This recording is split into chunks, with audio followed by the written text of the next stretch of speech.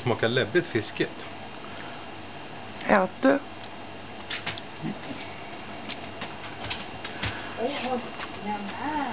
Min religiösa övertygelse förbjuder mig att äta det där. Mm.